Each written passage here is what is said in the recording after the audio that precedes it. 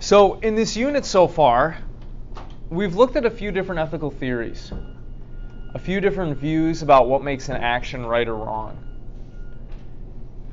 As we saw, Mill, being a utilitarian, argues that it's the consequences that matter, right? Whether or not your action, by and large, is making the world a better place, resulting in happiness, joy, pleasure, well being, that's what's going to determine whether an action is right or wrong. And Kant, on the flip side, thought that no, it's not the consequences.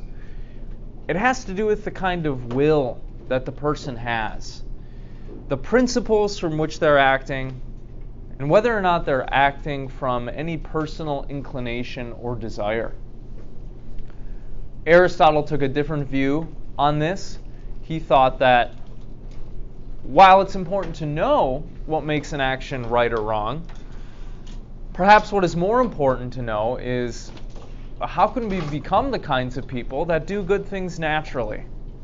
And he thought, famously, that the moral life, the happy life, the healthy life were all one and the same thing.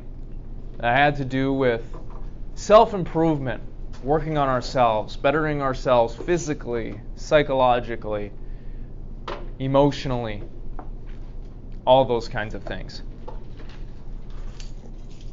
Well, at the end of this unit, I always like to throw in some ethical issues so that we can discuss them and apply these ethical theories.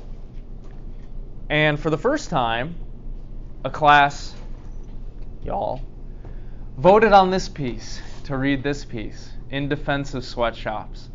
So that's what we're going to be looking at today. Can anyone tell me what a sweatshop is? Yeah.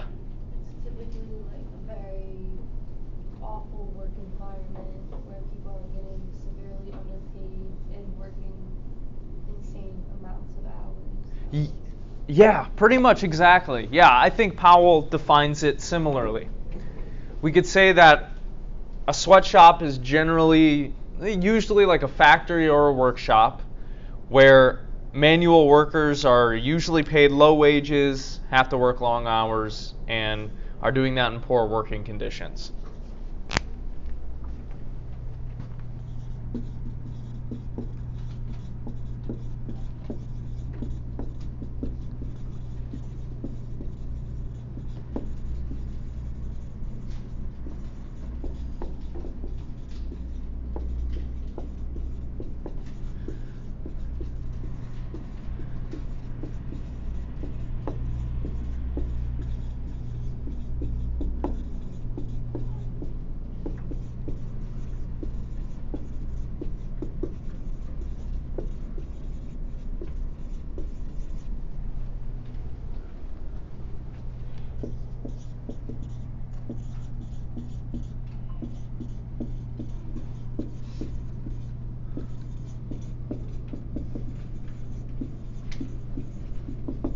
Generally, sweatshops are in developing countries or in other parts of the world.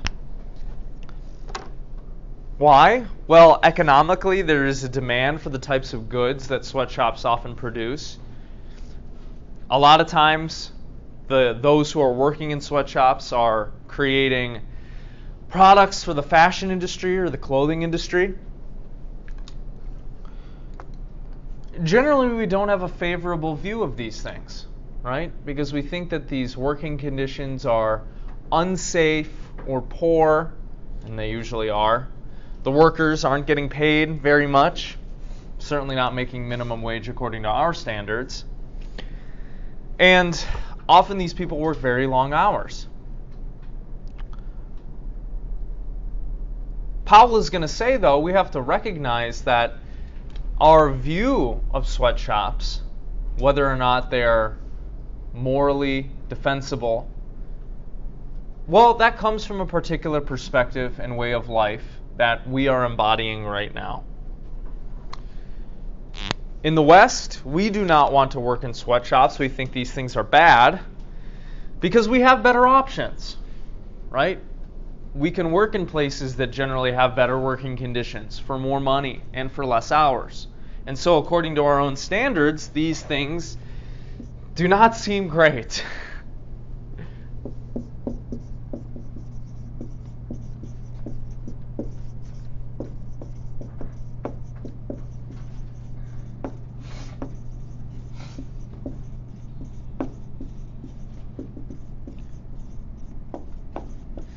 But not everybody has better alternatives.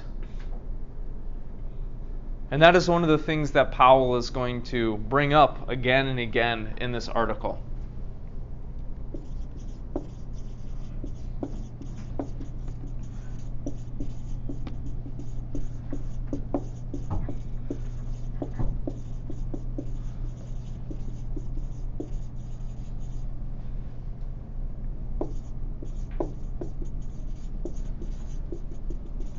And so, what Powell is going to be doing in this piece is he's going to argue that, well, sweatshops are defensible for three reasons, primarily. One, the alternatives are worse for third world workers where these sweatshops are located. Second, sweatshops help grow a country's wealth and improve that country's standard of living, economically speaking. And third, shutting them down in these developing countries will likely harm people and the standard of living itself there.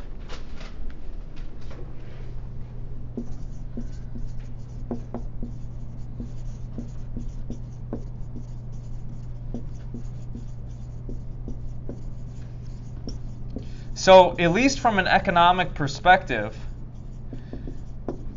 we can defend these things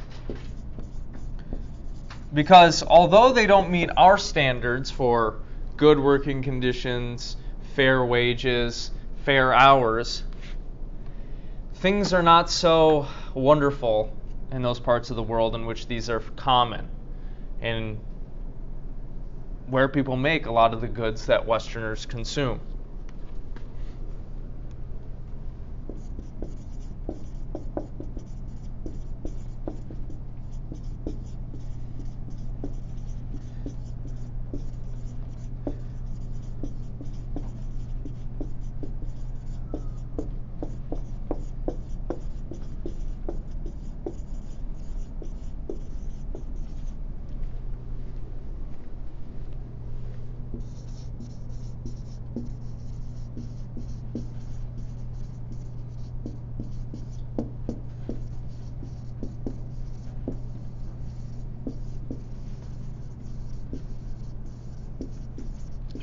So he's obviously going to agree that sweatshops fall short of the ideal. The question is for the workers who are employed in such places, would it benefit them or harm them if we tried to shut them down, get rid of them altogether? That kind of stuff.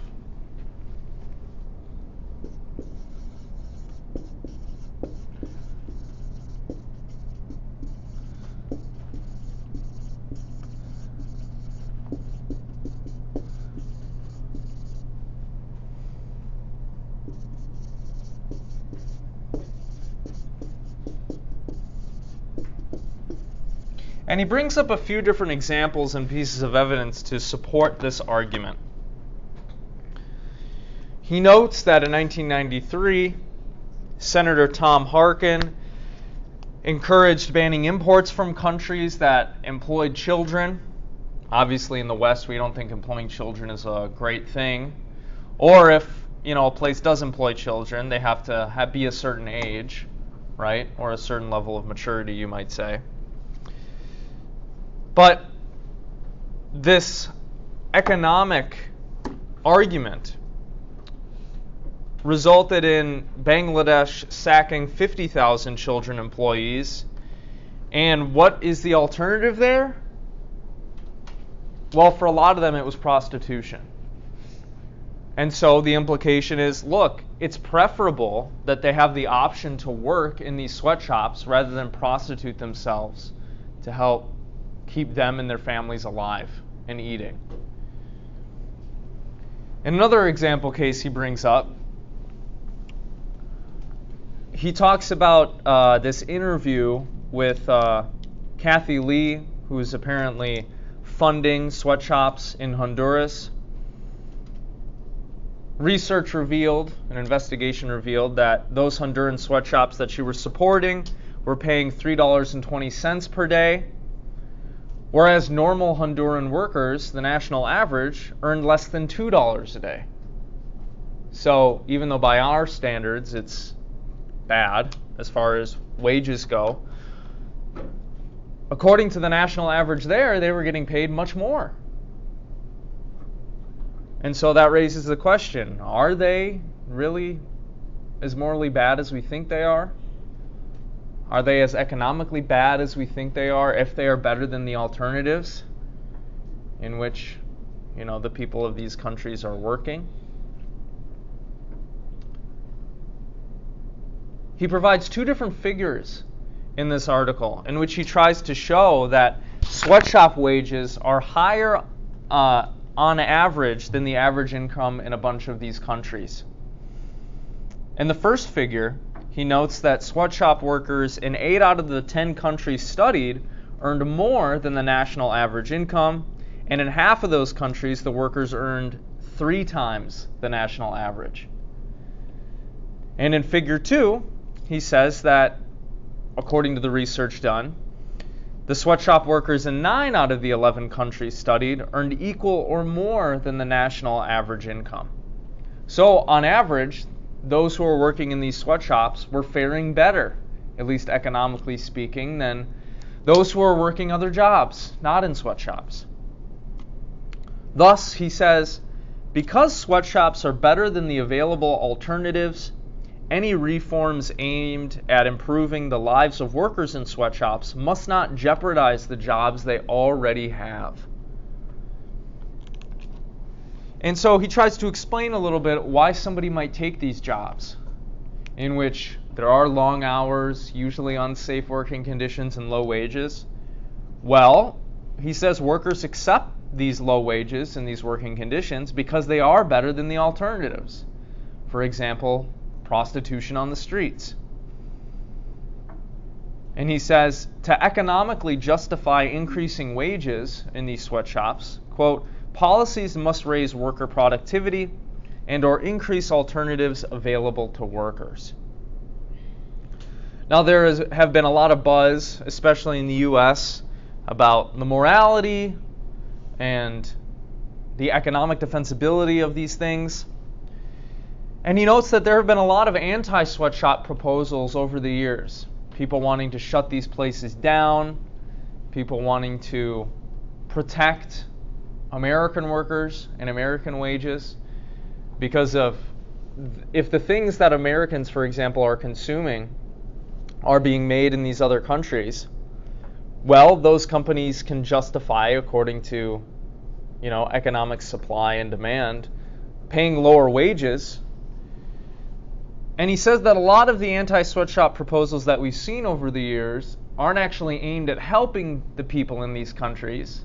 A lot of them are just aimed at protecting American economic interests. So there's a little disconnect there. And he says that proposals which seek to establish certain labor standards will make workers worse off in these places because they would not increase productivity and would decrease the U.S. demand for their products. The implication being, well, if the companies have to institute certain standards, they're not going to be able to pay workers as much. They're not going to be able to pay as many workers. And so these people will be forced to engage in these bad alternatives in order to make a living for themselves and their families. And he argues that anti sweatshop laws will make workers worse off by lowering the demand for their labor. This may help U.S. workers in the long run, but it would may put third world laborers out of work, which doesn't seem like a good thing to do.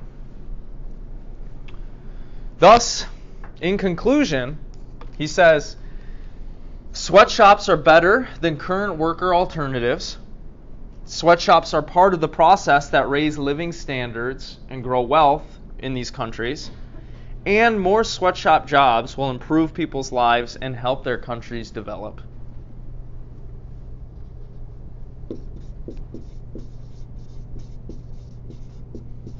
So it might be wrong headed to try to get rid of these things entirely, try to outlaw them, and not give workers in these countries the freedom to accept these kinds of jobs.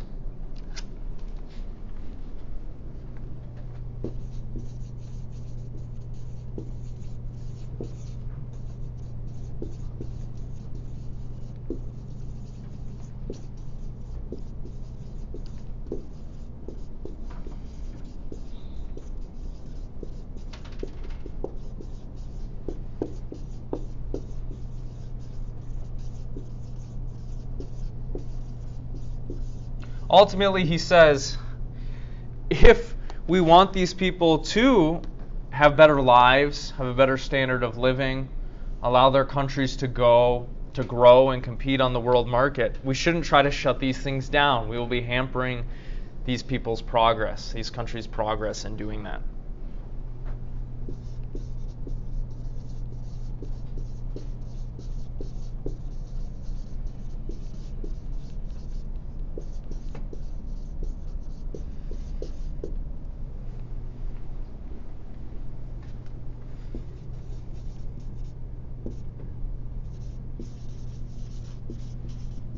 I'm going to abbreviate standard of living SOL. That is not shit out of luck.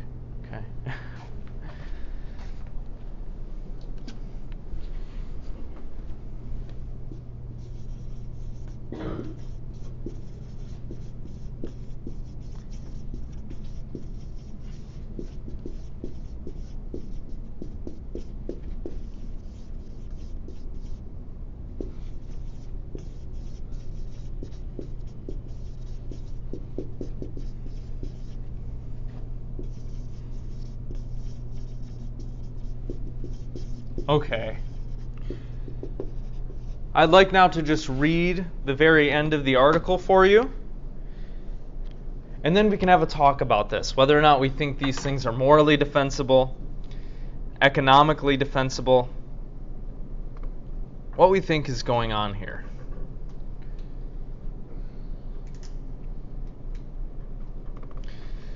On pages 5 and 6, he says,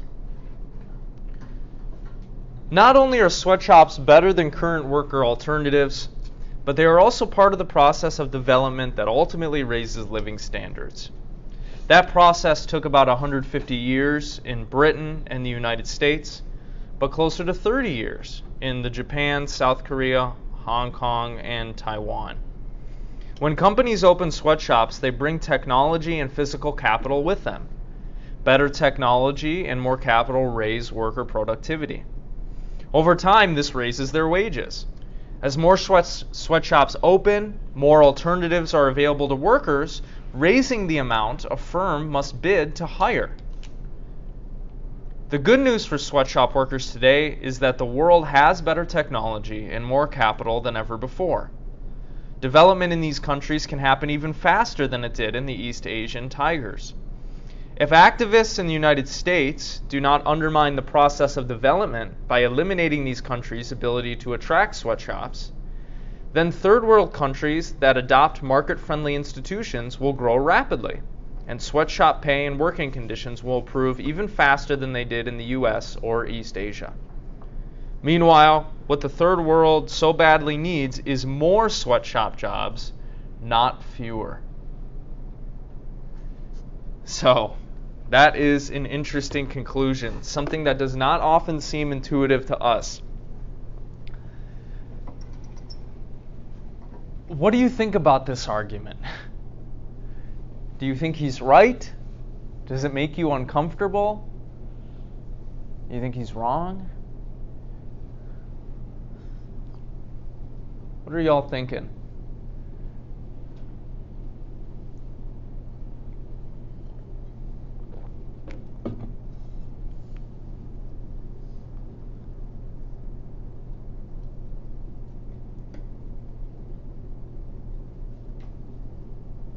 I know y'all have opinions about this, right? Even if you haven't thought a lot about it before.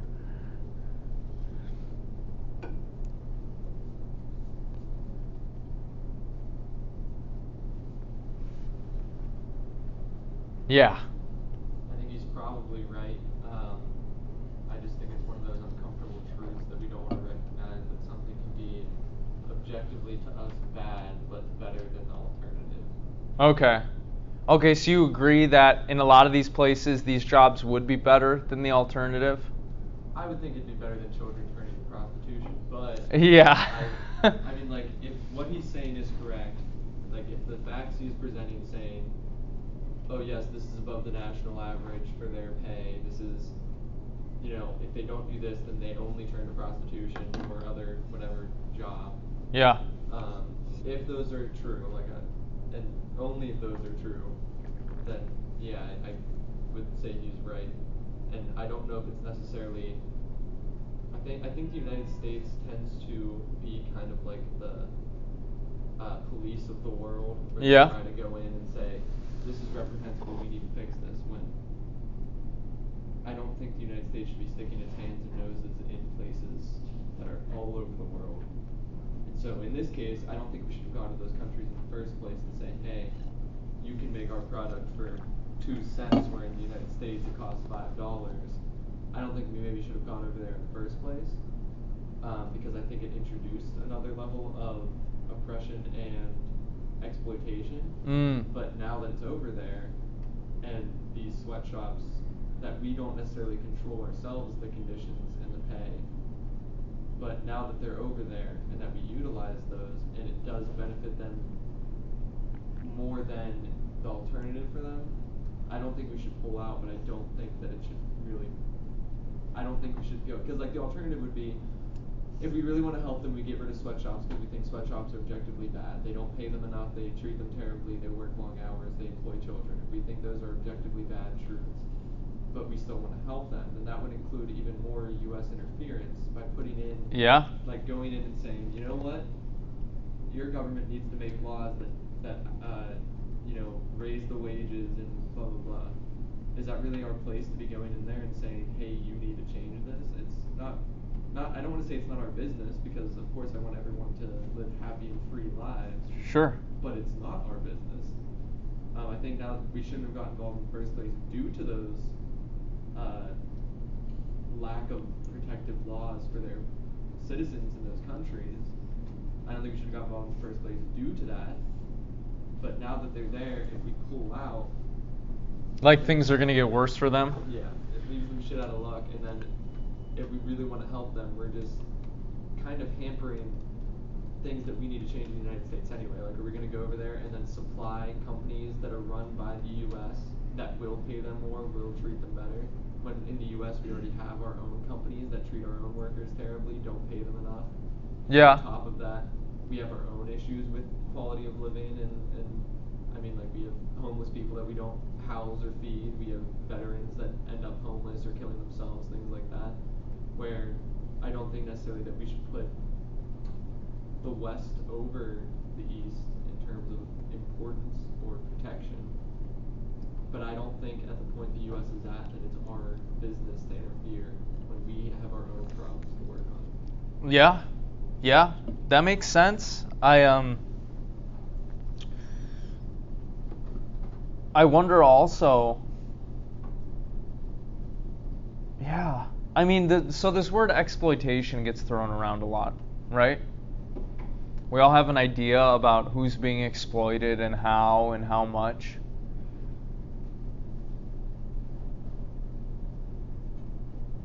Do we want to say that these people are being exploited if they voluntarily accept these jobs? Yeah.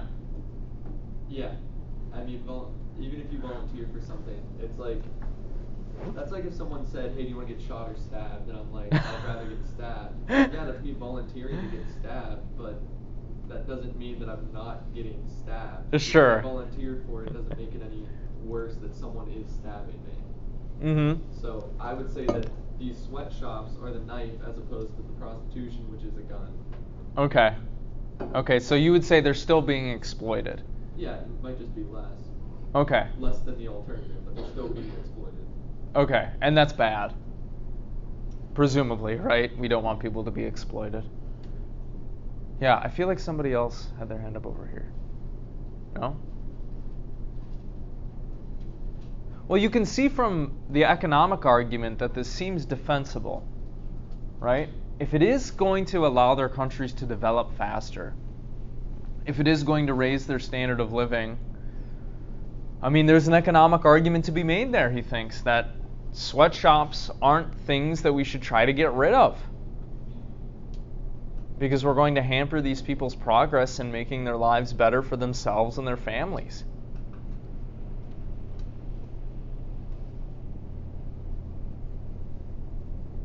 Morally, though,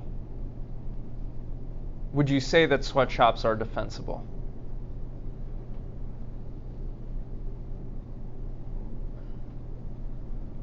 We could apply any one of the ethical theories that we've looked at so far.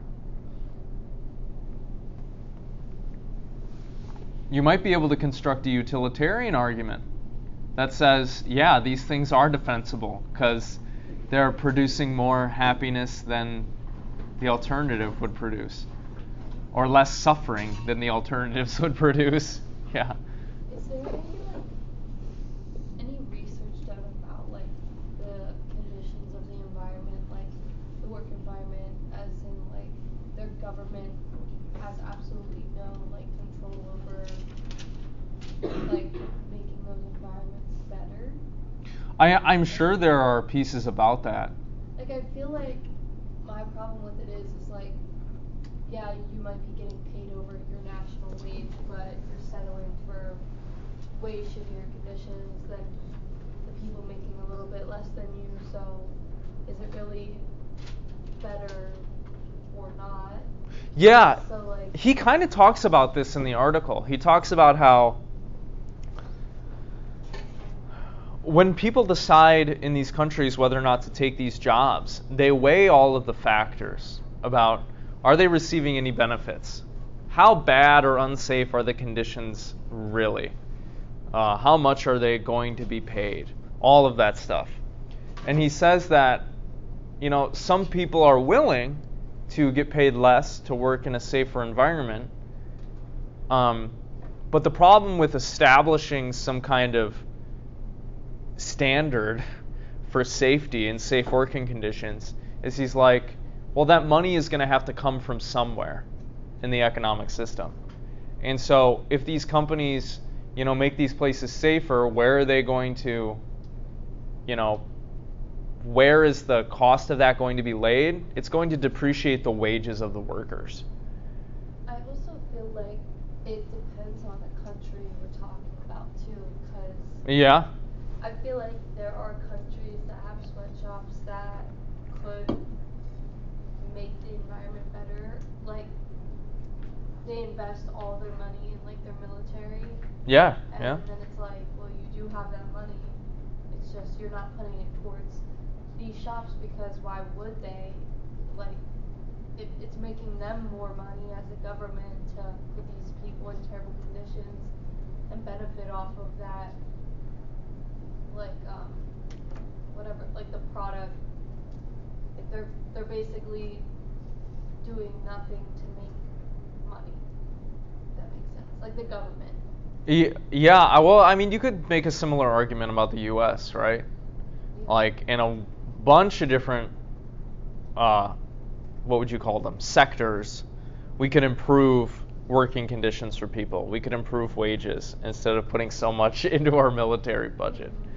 Um, and yeah, that that might also lead you to wonder.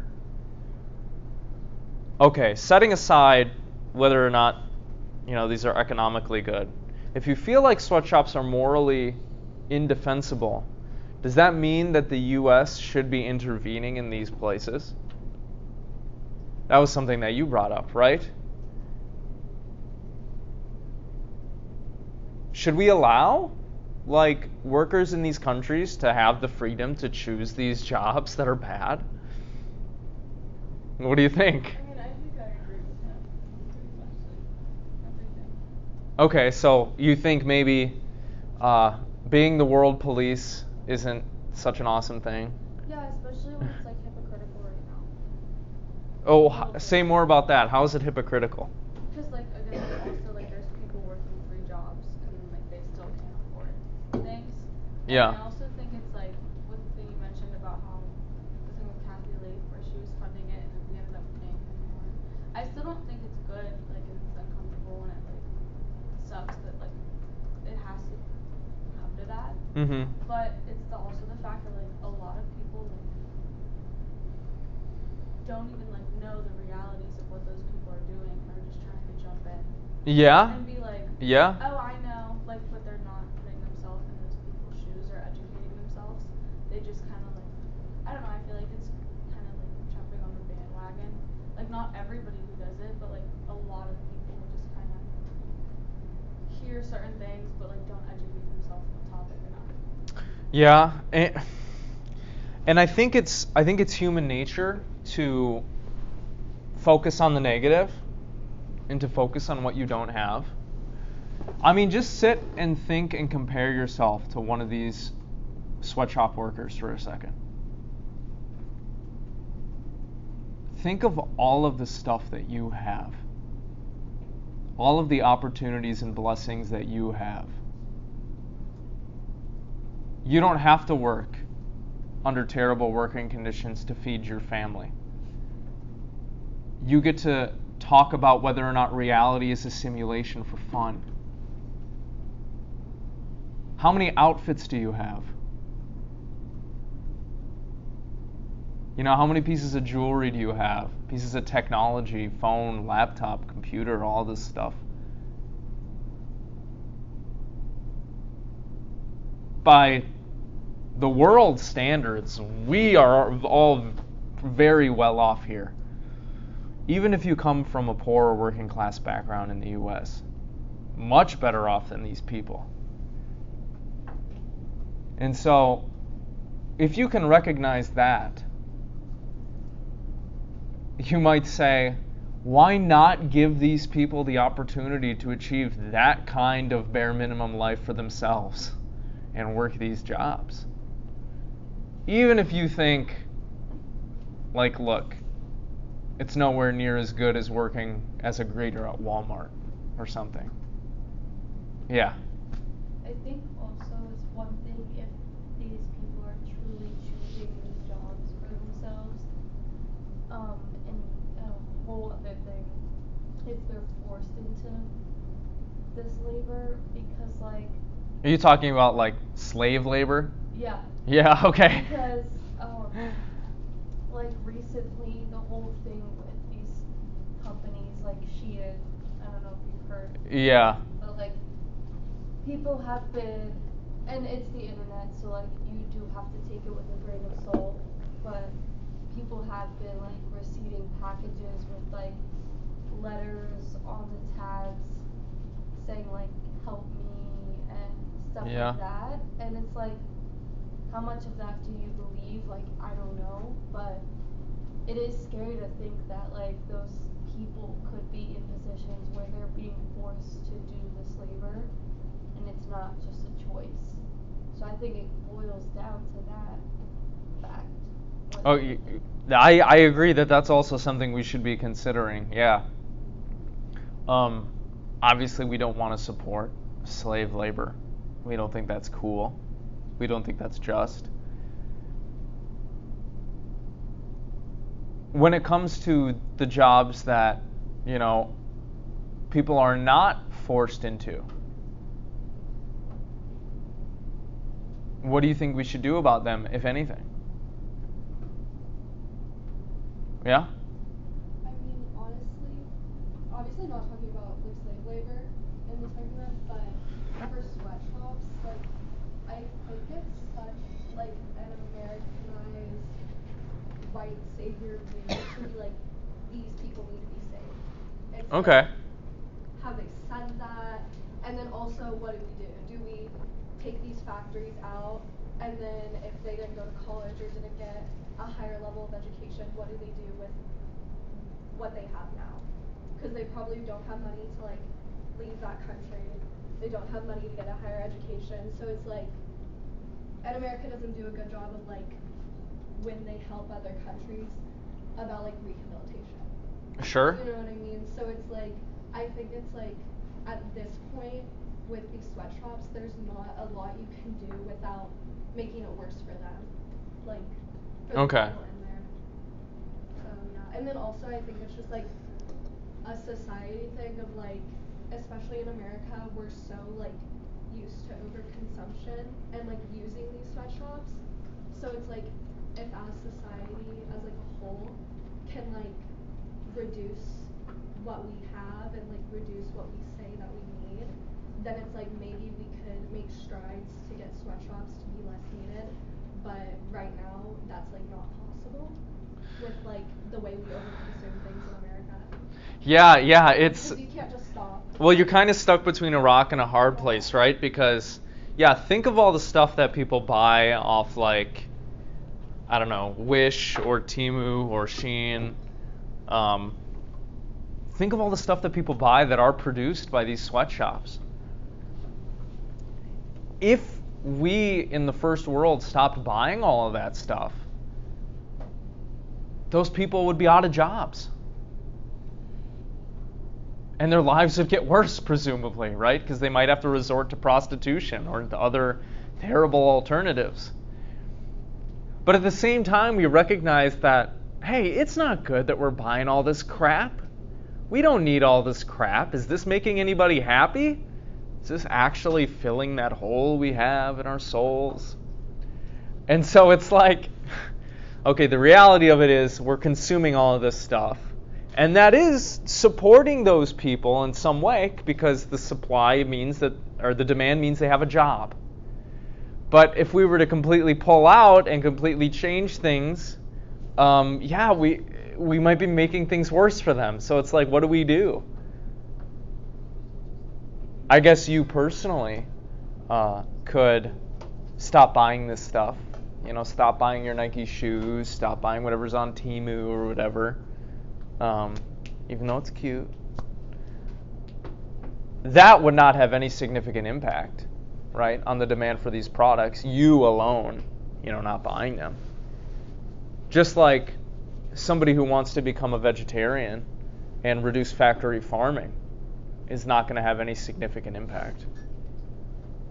But maybe it's the principle that matters and not whether or not you're actually moving the market in the right direction. Yeah, this is a hard problem. Obviously, our world is imperfect. We have these systems and structures set up that, well, are harming people in one sense but helping people in another sense. So this is very tricky. I don't know what's to be done. From a utilitarian standpoint, we could say that these sweatshops are defensible. You know, buying these goods does make people happy. And it makes the workers happy because they have jobs and they can feed their families. But then maybe it doesn't make the environment happy because it increases our waste. Maybe it keeps us unhappy in the long run because it forces us not to work on ourselves. I don't know. I'm just fishing for reasons here. On a Kantian view, do you think you could defend these things? Are these defensible on a deontological analysis? This one might be a little trickier.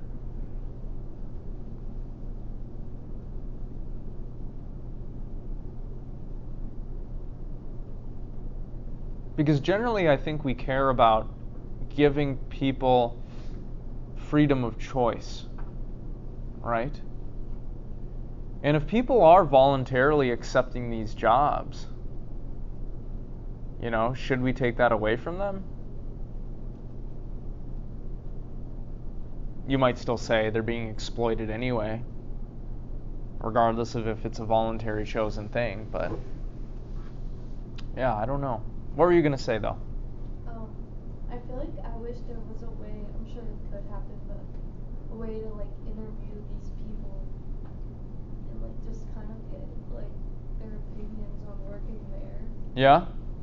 Like I feel like that would give us a lot of insight on how they actually feel because I feel like we're just approaching it from assumptions that we make coming from a Western view, Mm-hmm. which is like not accurate. So if we were to somehow like talk to them about how they feel about it.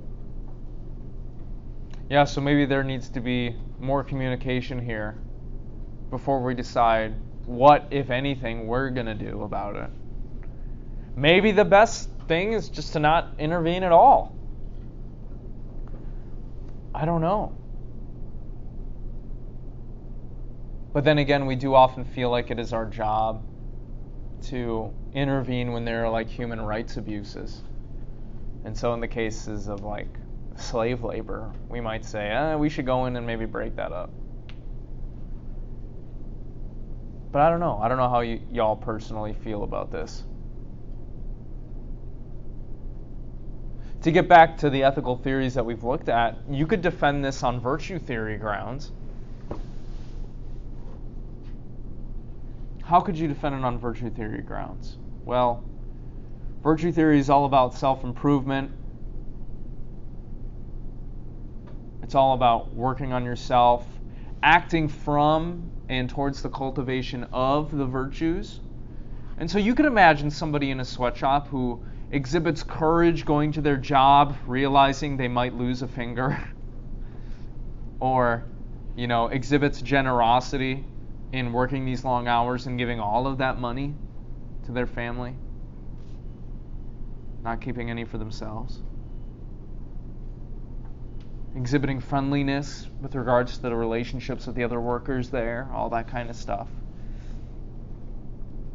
Now, you could also say that these jobs for these people actually make them better and make their lives better. Even though they're hard and even though, you know, they're unsafe, if they allow them to improve their standard of living and acquire those, you know, external resources that are necessary for the attainment of eudaimonia, you might say, oh, look, like this is a good thing for them. But I think you're right. We are coming at this question from a particular view, from a particular way of life with certain values, a certain way of seeing the world, with all this crap, right, that we don't need. These kinds of consumptive lives that we lead.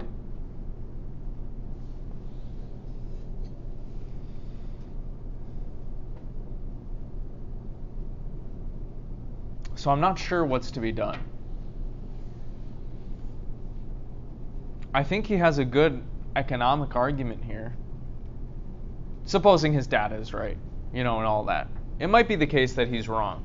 And this argument was written, I think, over 10 years ago. So maybe closer to 20 at this point. So I wonder how the conditions have changed since then. If they've gotten better. Yeah how long people stay in these jobs. That would be an interesting thing to look into. Is there anybody here that disagrees with him?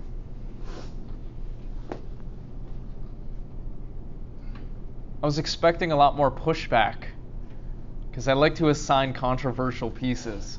And none of you here are like, this is terrible, this is awful, we need to get rid of it all. You're wrong, he's wrong.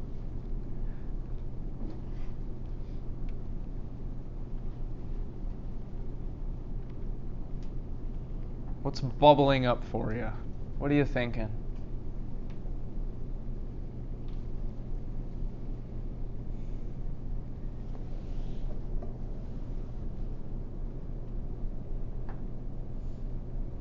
I think it really just depends on the area in which we're talking about because a sweatshop in China is gonna be different than a sweatshop in Ecuador. Like I just feel like Yeah. there's so many different approaches because the government's running these sweatshops are at different economical points. Yeah. Like Yeah.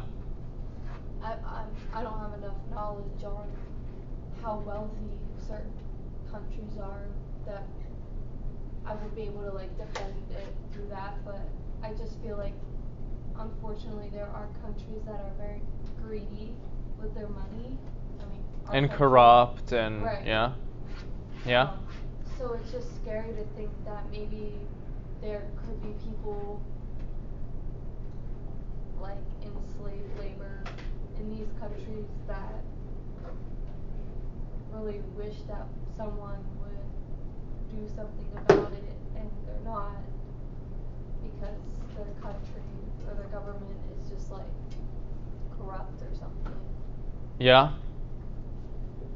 Yeah, that's a worry. I think one of the things that Powell is trying to really bring to the fore here is in our attempts to do what we think is right, we need to be very careful because oftentimes we might end up making things worse. So, for example, if we're very concerned about these sweatshops, maybe we start bo- boycotting all of these apps and all of these companies, and then over time they have to they lose their jobs because the company isn't going to pay them anymore to make the stuff people isn't going to buy, and then yeah, what they're on the streets. Is that really helping them? Yeah, that's a significant worry, right?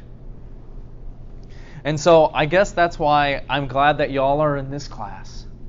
Because hopefully, when you see these problems, when, you, when you're made aware of these things, you will think critically about it from all these different perspectives. Right? What would be the consequences of doing this? What would be the consequences of doing that? What does that imply? What might this lead to? Now, I don't have enough, you know, knowledge about economics, and markets, and geopolitics and international affairs in order to really provide a super informed opinion about this stuff. But my intuition is that oftentimes American intervention has gone badly and made things worse. and I worry that in this specific case, actually, the right thing to do is to not intervene.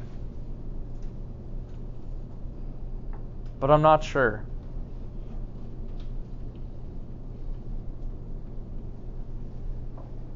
So, maybe I could just ask you all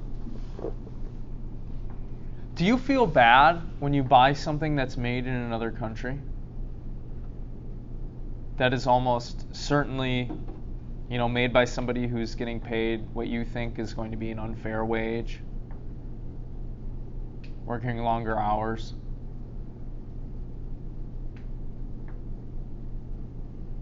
Or is that just something that's kind of part of your life?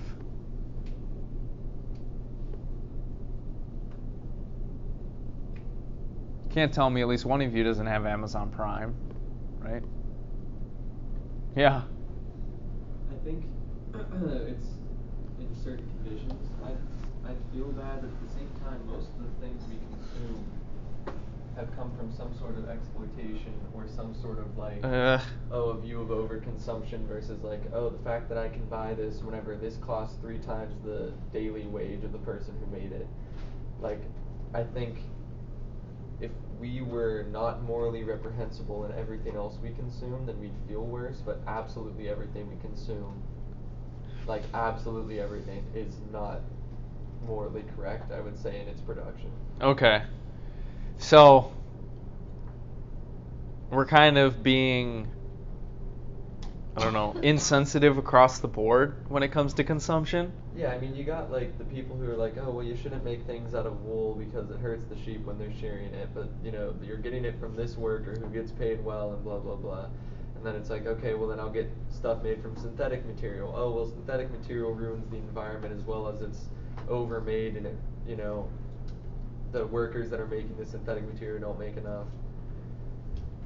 Can't use leather even though it's you know whatever because it, you end up hurting the environment because of the over production of cattle. Uh, affects the CO2 in the air or whatever. Sure. It's absolutely everything we consume from one way or another. There's no angle that you can make everyone happy on a moral standpoint. Is it if you consume animal products, is it can you like uh, reuse animal products a lot? Yes. Can you? Is it a uh, finite resource? No, because you can keep re- making animals reproduce. But it's morally reprehensible to kill or uh, leave the animals in the conditions that they're in. And then it's like, okay, so not animal products and synthetic products. And synthetic products are also morally reprehensible because it ends up not only hurting the environment but hurting the humans that make it. And it's just, Yeah. I, I think we'd care more in the United States if it weren't for the fact that the regular consumer gets attacked from all angles anyway. In the sense that it doesn't matter what you consume, someone's going to be mad at you for consuming it. Okay. So yeah, maybe we become a little uh, hard-hearted about this. Because yeah, I I the famous phrase is what? There's no ethical consumption under capitalism, right? Isn't that what people say? And so what what's the solution then? What are we supposed to do? Maybe not like really buy anything.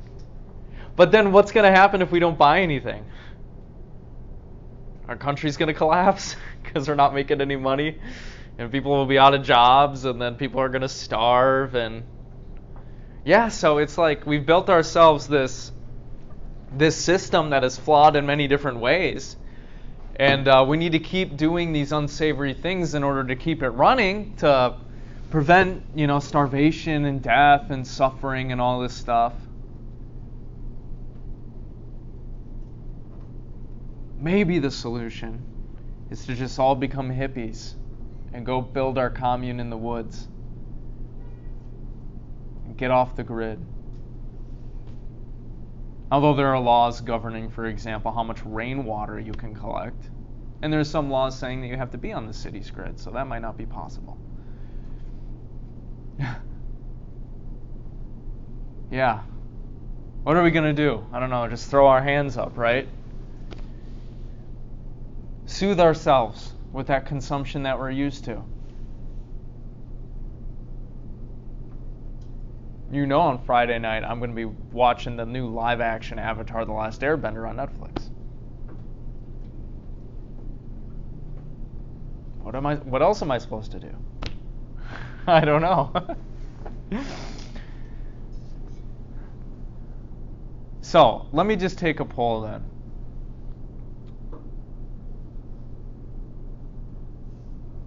Do you think that from an economic standpoint, sweatshops are defensible? Raise your hand. Okay, how about from a moral standpoint? Are they kind of connected?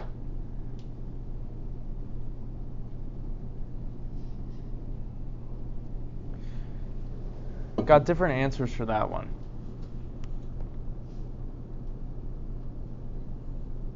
In this unit, we've been looking at what makes an action right or wrong. You might say these theories are based on one's axiology. Axiology is theory of value. What has value? What makes something valuable? What should we choose and prioritize? What values should we have? When I was your age, I valued freedom and autonomy a lot, like freedom of choice. Right? People should be allowed to make the kinds of choices that they want to make, even if it ends up hurting them. You could say that in these countries, they are choosing this because it's better than the alternatives, and we should allow them to have that choice, even if it hurts them. What do you think about that claim? Because I think a lot of you would support that in other domains, right? Oh, even if, you know, smoking weed isn't good for him, I'm not going to steal his weed from him. He should be allowed to smoke it if he wants to.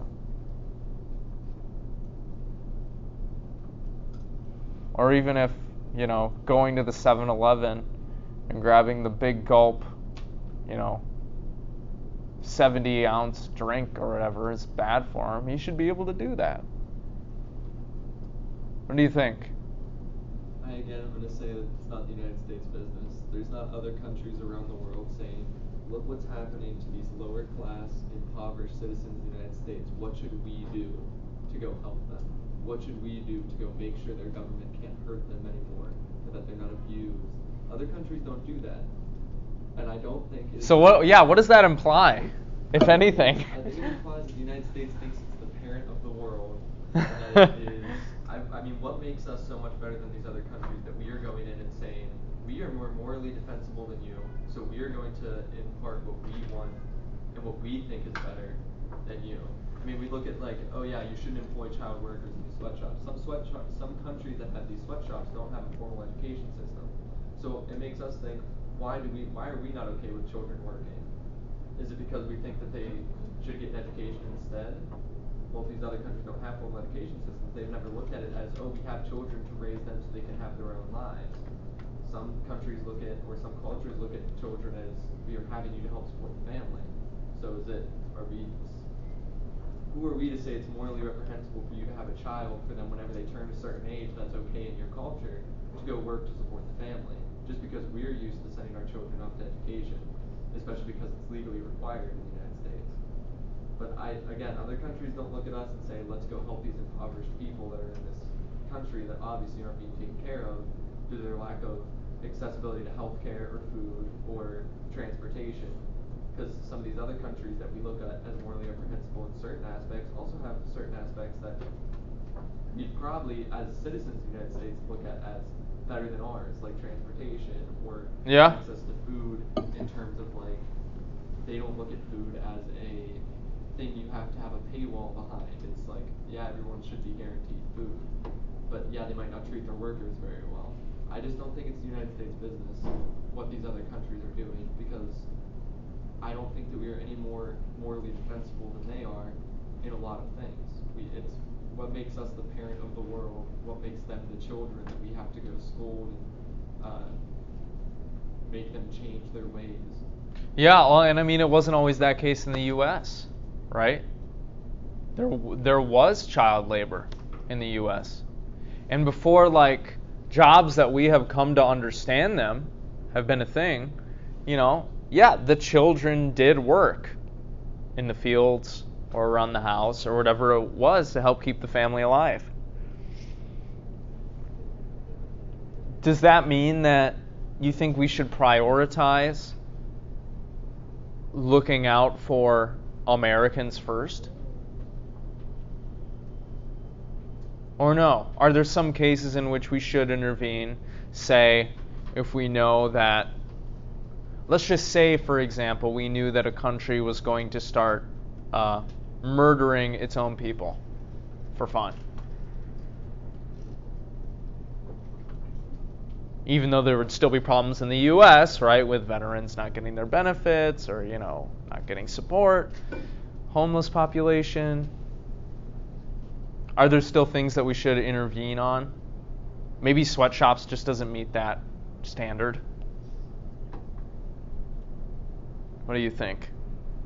I think if we have the power to, then we should. Like if other places don't have the ability, like if their government's not gonna protect them, then why not try to help if we, that's like saying like when the Holocaust happened. Bless you. we- Should we have not stepped in? I don't think we, sh- I don't think we shouldn't have, because we had the power to. And their government wasn't gonna do anything to save them, they were the ones killing them, so like, who else, if we didn't step in, who would've? Yeah. Yeah, it's tough. I don't think there are any easy answers here about what we should or shouldn't do. I suppose you could sum up this unit in a similar way, right? The situations are always more complex and multifaceted than you think, grayer maybe than you think. The important thing, I think, is that you just think and reflect about the issues. Don't do anything thoughtlessly. You know? In fact, you could argue as long as you are thinking and reflecting on this stuff and trying to figure out what to do, you are incapable of doing any evil. Because you're spending all your time trying to figure out what to do. It seems like we're all tired here, though. Should we end class early? Does anybody else have anything that they want to say or add? I'd be happy to keep talking, but it seems rather dead.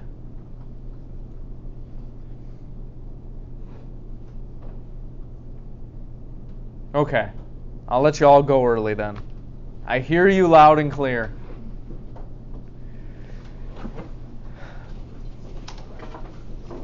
I hope that this, uh, I hope you talk about this issue though with your family and friends and see what they think about it. Maybe it'll help you to come to a more holistic understanding of what should or shouldn't be done in this situation.